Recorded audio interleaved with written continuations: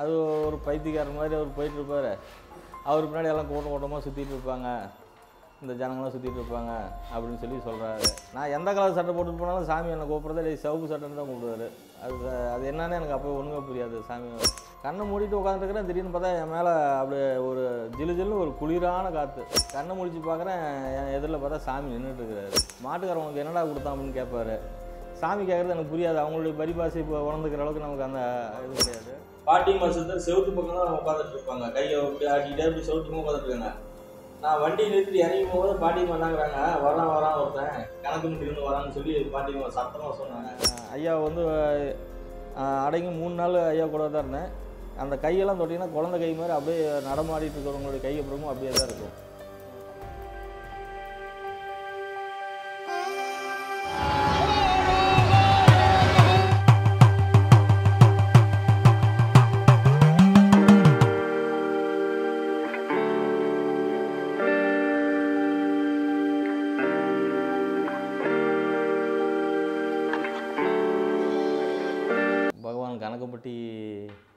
மூட்டை சாமிகள் திருவள்ளிகளே சரணம். ஐயாவோடைய தொடர்பு பன்னெண்டு பதிமூணு வருஷம் இருந்தாலும் ஐயாவை பற்றி நான் வெளியில் சொல்லக்கூடிய சந்தர்ப்பம் இன்றைக்கி தான். ஐயாவை நான் சந்தித்த ஒரு நிகழ்வுனா ஒரு வேடிக்கையான நிகழ்வு. வண்டிக்கு ஒரு டிரைவராக ஒரு காலத்தில் போகும்போது அதாவது இருந்த தொழிலெலாம் விட்டுட்டு ஒரு தடவை வண்டிக்கு வண்டி டிரைவராக போயிட்டுருக்கிறேன். அப்போ பழனி வழியாக அந்த வண்டியில் வரும்போது கடைகள் பக்கம் வந்து பார்த்திங்கன்னா ஒரு போஸ்ட் விட்டுருக்குறாங்க. அழுக்கு மூட்டை சாமின்னு ஒரு போஸ்ட் விட்டுருக்குறாங்க. அப்போ வந்து வருடம் வந்து ரெண்டாயிரத்தி ஒன்று சரியாக ஞாபகம் இருக்குது ரெண்டாயிரத்தி ஒன்றில் பார்த்துட்டு அந்த கடைக்காரர்கிட்ட கேட்குறேன் கேட்கும்போது அவர் ஒரு மாதிரி சொல்கிறார் என்னன்றாரு? அது ஒரு பைத்தியக்காரர் மாதிரி அவர் போயிட்டுருப்பார். அவர் பின்னாடி எல்லாம் கூட்டம் கூட்டமாக சுற்றிட்டு இருப்பாங்க இந்த ஜனங்களாம் சுற்றிட்டு இருப்பாங்க அப்படின்னு சொல்லி சொல்கிறாரு எனக்கு கேட்டோடனே நம்ம ஏற்கனவே வந்து எங்கள் நான் நாமக்கல் மாவட்டம் ராசிபுரம். எங்கள் ஊர் பக்கத்தில் தான் கொல்லிமலை இருக்குது அங்கே நாங்கள் வந்து பௌர்ணமிக்கு பௌர்ணமிக்கு போய் அன்னதானம் கொடுத்துட்டு இறை தொண்டு செஞ்சுட்டு இருக்கும்போது இதை சொல்லும்போது நம்ம என்னடா இது ஒரு சித்தரை ஒரு இவ்வளோ ஏதாவது சொல்கிறாரு அப்படின்ட்டு அவரை நேரில் தான் போய் சந்திப்போமே அப்படின்ட்டு ரெண்டாயிரத்தி ஒன்றில் போய் பார்க்குறேன் பார்க்கும்போது சாமி என்னை பார்த்தோன்னே ஒரே வார்த்தை தான் சொன்னார். வேடிக்கை பார்க்க வந்தீங்களாடா? வேடிக்கை பார்த்தா போங்கடா அப்படின்னு சொன்னார். அப்போ நான் வந்து பா பார்த்துட்டு கிளம்பி வந்துட்டேன். வந்துட்டு அதுக்கப்புறம் கால சூழ்நிலை திரும்ப ஐயாவை சந்திக்க முடியல. திரும்ப வந்து ரெண்டாயிரத்தி ஆறில் வந்து சாமி பார்க்க போனேன். ஒரு உறவினர் அதாவது எப்படின்னாக்கா சாமின்னு சொல்லலை இந்த மாதிரி ஒரு சித்தருக்கார் வாங்க போய் பார்க்கலான்னு கூப்பிட்டு போகும்போது முதல் முறையாக வந்து அவர் சொல்லி கூட்டிகிட்டு போகும்போது சாமி பார்த்தேன். சாமி உடனே என்னென்ன கூப்பிட்டு வாடா சாமி வந்துட்டியான்னு தான் கேட்டார் வந்த உடனே. அதுக்கு முன்னே வந்து வேடிக்கை பார்க்க வந்தியான்னு கேட்டவர் வாடகை சாமி வந்துட்டியான்னு கூப்பிட்டு கேட்டார். கூப்பிட்டு ஐயாவுடைய ஒரு தாய் அன்போடு பேசினது. திரும்ப திரும்ப எனக்கு ஐயாவுடைய நினைவு தான் மனசில் ஓடிட்டு இருந்தது. ராசிபத்தில் வாரத்தில் பாதி நாள் ராசிபத்தில் இருந்தாலும் பாதி நாள் ஐயாவோட அங்கே போய் ஐயாவை அப்படி தொடர்ந்து பின் தொடர்ந்து போயிட்டே இருப்பேன். அப்போ நிறையா சம்பவங்கள் ஐயா கிட்ட. அவர் ஐயா நம்மளை ஆட்கொண்டது ஒவ்வொரு விஷயமும் பார்க்க போனீங்கன்னாக்கா அது திரும்ப திரும்ப ஐயாவை பார்க்கணும். அந்த ஏன்னா அந்த ஒரு ஆதரவு வந்து நீங்கள் உலகத்தில் ஐயாவை தவிர வேறு யார்ட்டையுமே நீங்கள் எதிர்பார்த்துருக்க முடியாது. அந்த மாதிரி ஒரு ஆதரவு நடந்துக்குவார். சாமி வந்து உரிமையோடு கூப்பிடுவார். கூப்பிட்டு நான் எந்த கலர் சட்டை போட்டுட்டு போனாலும் சாமி என்னை கூப்பிட்றதே டேய் சிவப்பு சட்டைன்னு தான் கூப்பிடுவார். அது அது என்னன்னு எனக்கு அப்போ ஒன்றுமே புரியாது. சாமி இதே சிவப்பு சட்டைன்னு கூப்பிடுவார். அப்போ ஒரு முறை என்ன பண்ணார் என்னை கூப்பிட்டு அந்த வேப்ப மரத்துக்கு எதிரில் அந்த வயலில் ஓட்டி போட்டிருந்தாங்க.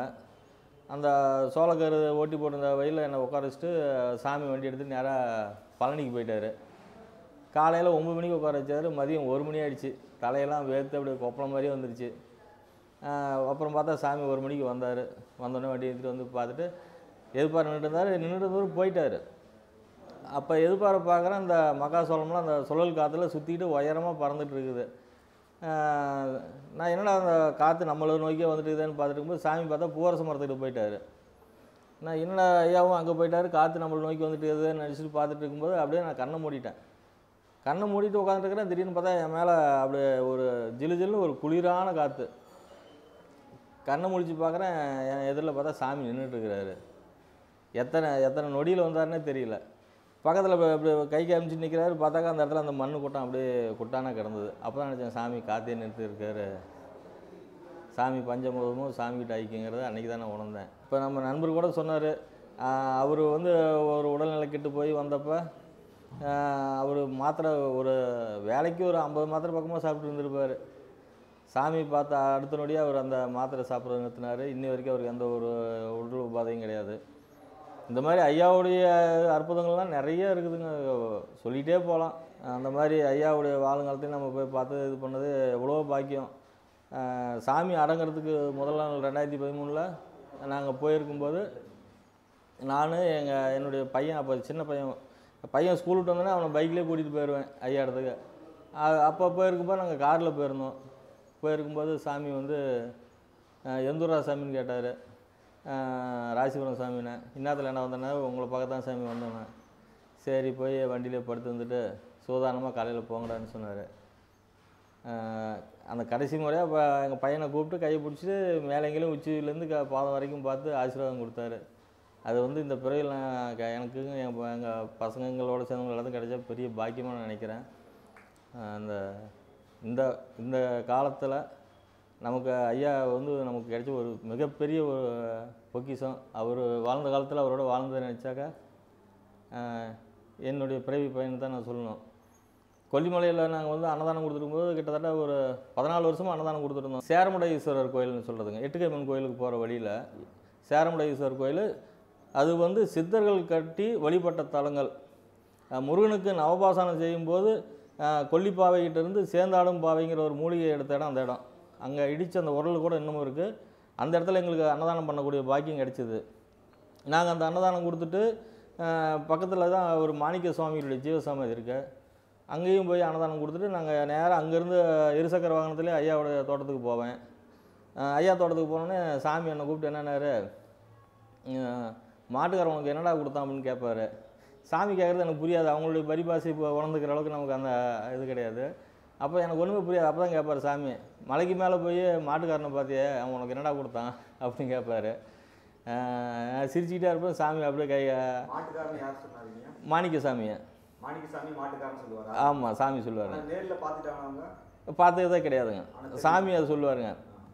நாங்கள் சாமி பார்த்துட்டு சாமிக்கிட்ட அங்கே இரவு தங்கி இருந்துட்டு அடுத்த நாள் காலையில் புறப்பட்டு வருவோம். வரும்போது நேராக வந்து கொடுமுடியில் பாட்டி மா போய் பார்த்தேன். பாட்டி மசத்தரை பார்க்க போனேன். பாட்டி மசத்தர் செவுத்து பக்கம் தான் உட்காந்துட்டு இருப்பாங்க. கையை இப்படி ஆட்டிக்கிட்டே இப்படி செவுத்து பக்கம் உட்காந்துட்டு நான் வண்டி நிறுத்திட்டு இறங்கி போகும்போது பாட்டிமா என்னங்கிறாங்க வரான் வரான் ஒருத்தன். கணக்கு முட்டிலேருந்து வரான்னு சொல்லி பாட்டிமா சத்தமாக சொன்னாங்க. அப்போ நான் போனேன். இங்க போயிட்டு பாட்டிமாவோட உட்காந்துட்டு இருக்கும்போது பாட்டிமா திரும்பி என்ன மேலே எங்கேயும் பார்த்தாங்க. பார்த்துட்டு என்னம்பாங்க ஆஹ் அப்போ என்னடா கொடுத்தாங்க? அப்படின்னு கேட்டாங்க.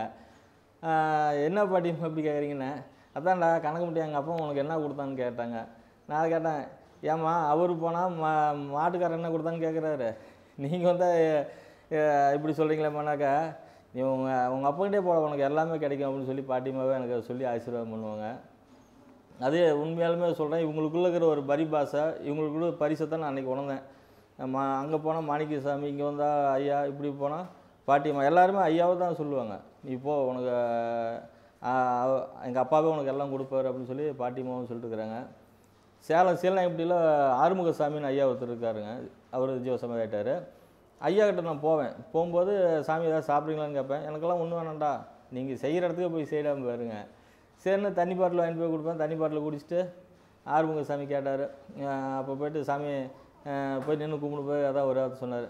நீ பெரிய இடத்து பிள்ளடா உனக்கெல்லாம் அவனே எல்லாம் செய்வான்.